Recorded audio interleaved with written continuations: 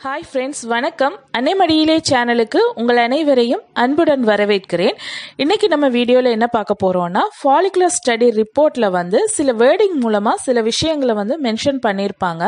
அதெல்லாம் என்ன அப்படின்னு சொல்லிட்டு நிறைய பேர் என்னுடைய பழைய ஃபாலிகுலர் ஸ்டடி வீடியோஸில் வந்து கொஷின்ஸ் கேட்குறீங்க ஸோ அதெல்லாம் என்ன எதுக்காக மென்ஷன் பண்ணியிருக்காங்க அப்படிங்கிறது எல்லாமே வந்து நான் இந்த வீடியோவில் விளக்கமாக சொல்ல போகிறேன் அதுக்கு முன்னாடி இப்போ தான் நீங்கள் என்னோட சேனலை ஃபர்ஸ்ட் டைம் பார்க்குறீங்க அப்படின்னா என்னோட சேனல் சப்ஸ்கிரைப் பண்ணி எனக்கு சப்போர்ட் பண்ணுங்க. அண்ட் கீழே இருக்க பெல் ஐக்கானை கிளிக் பண்ணுங்க. இப்போ வாங்க வீடியோக்குள்ள போகலாம். ஸோ ஃபாலிகுலர் ஸ்டடினா என்ன அப்படிங்கிறத நான் நிறைய வீடியோஸ் போட்டுட்டேன். அதில் எல்லாமே தெளிவாக சொல்லிட்டேன். ஸோ அந்த வீடியோஸ் வந்து பார்க்காதவங்க அந்த வீடியோஸ் போய் பார்த்துட்டு இந்த வீடியோவுக்கு வாங்க. ஸோ ஃபாலிகுலர் ஸ்டடிக்கு எப்படி ப்ரிப்பேர் ஆகணும்? அண்ட் வந்து அதில் என்னென்னலாம் எடுப்பாங்க? அதோட பெனிஃபிட்ஸ் என்ன அப்படிங்கிறது எல்லாமே வந்து ஆல்ரெடி வீடியோவாக நான் போட்டிருக்கேன். என்னுடைய ரிப்போர்ட்ஸ் கூட நான் அதில் காட்டி வீடியோ எல்லாம் தெளிவாக போட்டிருக்கேன்.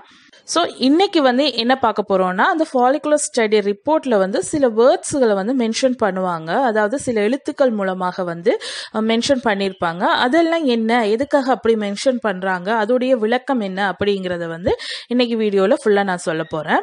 ஸோ ஃபாலிகுலர் ஸ்டடி ரிப்போர்ட்ல என்னென்ன இருக்கும் அப்படின்னு ஃபர்ஸ்ட் பார்த்துடலாம் ஃபர்ஸ்ட் வந்து பார்த்தீங்கன்னா எல்எம்பி டேட் வந்து மென்ஷன் பண்ணியிருப்பாங்க.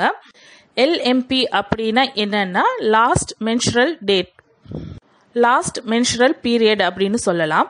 ஸோ ஃபர்ஸ்ட் வந்து அது மென்ஷன் பண்ணுவாங்க.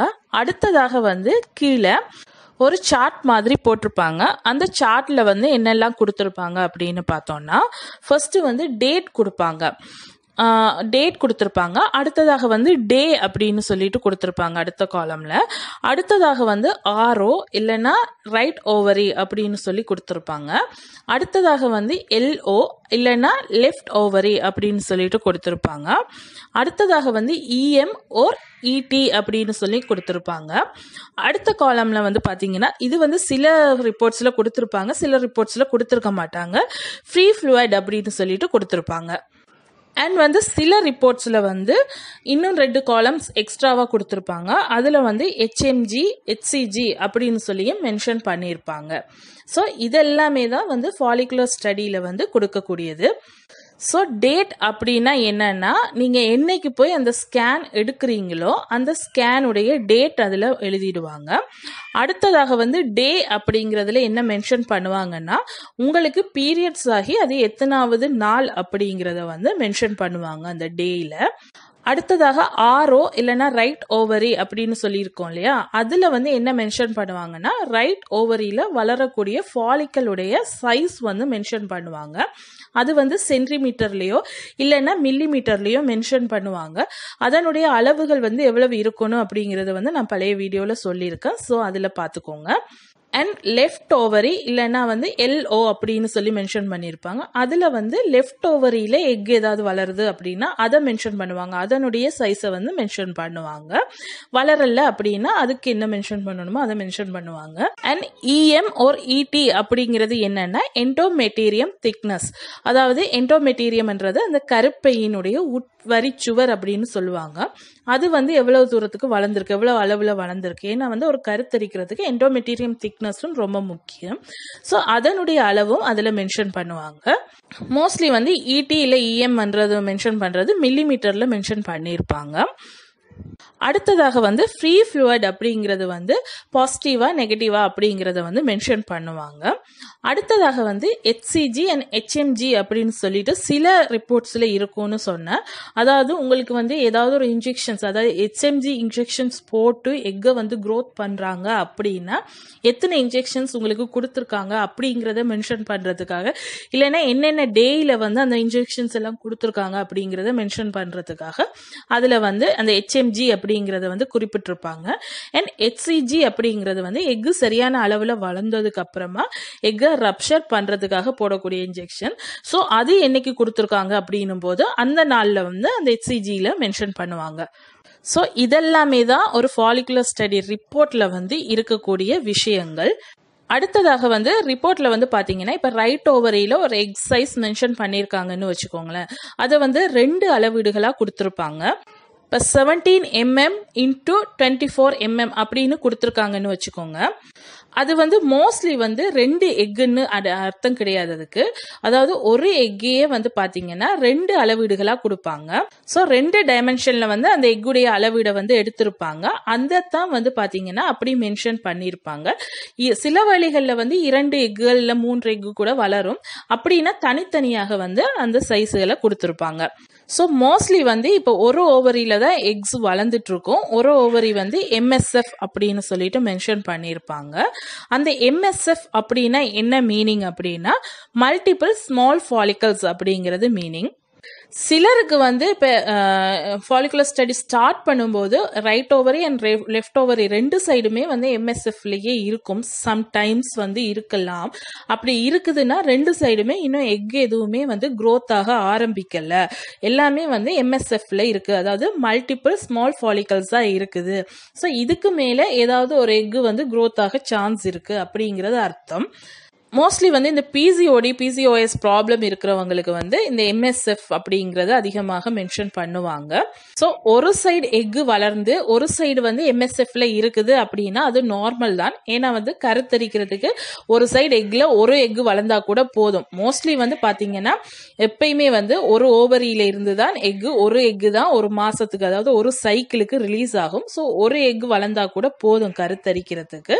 நம்ம வந்து இப்போ ஃபர்டிலிட்டி ட்ரீட்மெண்ட் ஏதாவது அதாவது டேப்லெட்ஸோ இல்லை இன்ஜெக்ஷன்ஸோ அதிகமாக எடுத்துக்கும் போது சில வேளையில் வந்து ரெண்டு மூணு எக்குகளும் உருவாகலாம். இல்லை ரெண்டு ஓவரிலையுமே எக்குகள் உருவாகிறதுக்கும் சான்சஸ் இருக்கு. அடுத்ததாக வந்து என்டிஎஃப் இல்லைன்னா நோ டிஎஃப் அப்படின்னு சொல்லிட்டு மென்ஷன் பண்ணியிருப்பாங்க அப்படின்னா என்னன்னா நோ டாமினன்ட் ஃபாலிக்கல்ஸ் அப்படிங்கிறது மீனிங் நோ டாமினன்ட் ஃபாலிக்கல்ஸ் அப்படின்னா இந் எந்த எக்குமே வந்து வளரக்கூடிய நிலைமையில இப்போதைக்கு இல்லை அப்படிங்கிறது. அதாவது எந்த எக்குமே வந்து ஒரு க்ரோத் ஆகக்கூடிய நிலைமையில இப்போதைக்கு இல்லை அப்படிங்கிறது தான் மீனிங்கு மோஸ்ட்லி வந்து சம்டைம்ஸ் ஸ்டார்டிங்ல வந்து இந்த என்டிஎஃப் இருக்கும். சில பேருக்கு போக போக வந்து இப்போ பதினாலாவது நாள் பதினஞ்சாவது நாள் அப்படி இல்லாமல் எடுக்கும்போது சில வழியில வந்து எக்ஸ் வந்து growth ஆக ஆரம்பிச்சிடும் ஸோ என்டிஎஃப் அப்படின்னாலும் பயப்பட வேண்டியது கிடையாது. சம்டைம்ஸ் வந்து என்டிஎஃப்ல இருந்தால் எந்த எக்குமே க்ரோத் ஆகாமல் போயிடும். அதுக்கப்புறமா வந்து அவங்க அந்த சைக்கிளை வந்து க்ளோஸ் பண்ணிவிட்டு திருப்பி நெக்ஸ்ட் சைக்கிள்லேருந்து தான் ட்ரை பண்ண வேண்டியது வரலாம். ஏன்னா வந்து என்டிஎஃப் ஆனதுக்கு அப்புறம் அதாவது உங்களுக்கு இப்போ டேயும் கொஞ்சம் தள்ளி போயிடுச்சு. தேர்ட்டீன் டே ஃபோர்டீன் டேக்கு மேலே ஆயிடுச்சு. அதுக்கப்புறமே என்டிஎஃப்லேயே இருக்குது அப்படின்னா அதுக்கப்புறம் இன்ஜெக்ஷன்ஸ் போட்டு எக்கு க்ரோத் பண்ணுறது வந்து அவ்வளவு அட்வைசபிள் கிடையாது. ஸோ வந்து அடுத்த சைக்கிள்லேருந்து நீங்கள் என்ன பண்ணலாம்? ஸ்டார்டிங்லேருந்து இன்ஜெக்ஷன்ஸ் டேப்லெட்ஸ் எல்லாம் எடுத்து எக்கை க்ரோத் பண்ணிக்கலாம். ஸோ என்டிஎஃப் அப்படின்னா நான் டாமினன்ட் ஃபாலிக்கல்ஸ் அதாவது எந்த எக்குமே வளரக்கூடிய நிலைமையில இல்லை. சம்டைம்ஸ் வந்து திருப்பியும் வளரலாம் அப்படிங்கிறது தான் அதோட மீனிங்க்கு அடுத்ததாக வந்து ரப்ஷர்ட் இல்லைன்னா கொலாப்ஸ்ட் அப்படின்னு சொல்லிட்டு மென்ஷன் பண்ணியிருப்பாங்க. அப்படின்னா என்னன்னா எக்கு வந்து ரப்ஷர் அதாவது உடஞ்சிடுச்சு அப்படின்னு மீனிங் உடஞ்சிடுச்சு அப்படின்னா என்னன்னா ஓவரியில வந்து எக்கு க்ரோத் ஆகி வளர்ந்து வந்து அது ஓவரியை விட்டு வெளியில வரணும். வெளியில வந்து ஃபெலோபியன் டியூபுக்கு வரணும். ஸோ எக்கு வந்து ஓவரியை விட்டு வெளியில வந்து ஃபெலோபியன் டியூபுக்கு வர்றதை தான் ரப்ஷர் அப்படின்னு சொல்லி மென்ஷன் பண்ணுவாங்க. எக்கு வந்து ரப்ஷர் ஆகி வெளியில வர்றதை தான் வந்து பார்த்தீங்கன்னா ஒவ்லூஷன் அப்படின்னு சொல்லுவாங்க. அந்த ஒவ்லூட் ஆனா தான் வந்து கருத்தரிக்க முடியும். ஸோ மோஸ்ட்லி வந்து ஃபோர்டீன்த் டேலேருந்து ஒரு எயிட்டீன்த் டேக்குள்ள வந்து எக்கு வந்து ரப்ஷர் ஆகும். சில பேருக்கு அவங்க சைக்கிளை பொறுத்தது கூடலாம் குறையலாம் முன்னாடி ஆகலாம் பின்னாடி ஆகலாம் ஸோ அது நோ ப்ராப்ளம் ஸோ அந்த ஹெச்எம்ஜி ஹெச்சிஜி அப்படின்னு சொல்லிட்டு நான் முன்னாடி இன்ஜெக்ஷன்ஸ் பற்றி சொல்லியிருந்தேன். சைடில் காலம்ஸில் வந்து அதையும் மென்ஷன் பண்ணியிருப்பாங்க சில ரிப்போர்ட்ஸ்லேருந்து அப்படி ஹெச்எம்ஜி இன்ஜெக்ஷன் வந்து எக் க்ரோத்துக்காக போடுறது அண்ட் ஹெச்சிஜி இன்ஜெக்ஷன் வந்து எக் ரப்ஷர் ஆகிறதுக்கு போடுறது. ஸோ இந்த எச்ஐஜி இன்ஜெக்ஷன் அதாவது எக் வந்து சரியான அளவு வளர்ந்துடுச்சு அப்படின்னா அந்த எச்ஐஜி இன்ஜெக்ஷன் போட்டு எக்கை வந்து ரப்ஷர் பண்ணிடுவாங்க. ஸோ எச்ஐஜி இன்ஜெக்ஷன் போட்டுட்டு அடுத்த நாளோ இல்லை அதுக்கு அடுத்த நாளோ செக் பண்ணும்போது எக் வந்து ரப்ஷர் ஆயிடுச்சு அப்படின்னா ரப்ஷர்ட் அப்படின்னு சொல்லிட்டு மென்ஷன் பண்ணியிருப்பாங்க ஸோ எக் ரப்ஷர் ஆனதுக்கு அப்புறமா வந்து இன்டர்காஸ்ல இருக்கவும் சொல்லுவாங்க. ஸோ இருக்கும்போது கருத்தரிக்கிறதுக்கான வாய்ப்புகள் வந்து அதிகமாகும். அடுத்ததாக வந்து சில ரிப்போர்ட்ஸ்ல வந்து இது மென்ஷன் பண்ணியிருப்பாங்க அப்படின்னு சொல்லியிருந்தேன் அதாவது ஃப்ரீ ஃப்ளூயட் இன் பிஓடி அப்படின்னு சொல்லிட்டு மென்ஷன் பண்ணுவாங்க. அது வந்து பாசிட்டிவா நெகட்டிவா அப்படின்னு சொல்லிட்டு மென்ஷன் பண்ணிட்டு வருவாங்க. ஸோ இது வந்து பார்த்தீங்கன்னா மோஸ்ட்லி எக்கு வந்து க்ரோத் ஆகிற பீரியட்ல வந்து நெகட்டிவ் அப்படின்னு மென்ஷன் பண்ணிட்டு வருவாங்க. அண்ட் எக் ரப்ஷர் ஆயிடுச்சு அப்படின்னா பாசிட்டிவ் அப்படின்னு மென்ஷன் பண்ணுவாங்க. So free fluid in POD அப்படின்னா பெல்விக்ல வந்து நீர்த்தன்மையாக இருக்கிறது. இது வந்து எக் ஓவலூஷன் ஆனதுக்கு அதுக்கு அப்புறமா இருக்கக்கூடியது. ஸோ அந்த டைமில் வந்து இன்டர்கோர்ஸில் இருக்கும்போது கருத்தரிக்கிறதுக்கான வாய்ப்பு அதிகம் அப்படிங்கிறத மென்ஷன் பண்ணுறது தான் ஸோ பாசிட்டிவ் அப்படின்னு மென்ஷன் பண்ணாங்க அப்படின்னா இன்டர்கோர்ஸில் இருக்கிறது ரொம்ப ரொம்ப நல்லது. பட் இதில் வந்து சில குழப்பங்கள் இருக்கிறதால நிறைய ஸ்கேன் சென்டரில் அதை வந்து மென்ஷனும் பண்ண மாட்டாங்க.